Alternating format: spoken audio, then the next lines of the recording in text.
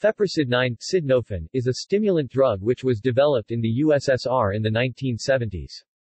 It is structurally related to another Russian drug mesocarb but unlike mesocarb, was withdrawn earlier from production.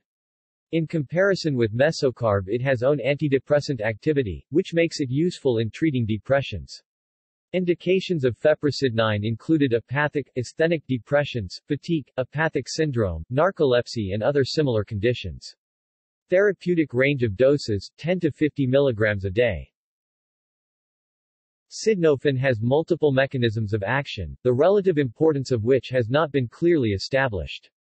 Effects on the body include reversible monoamine oxidase inhibition, cholinergic, adrenergic, opioid and nitric oxide donating actions, all of which may contribute to its pharmacological effects to some extent.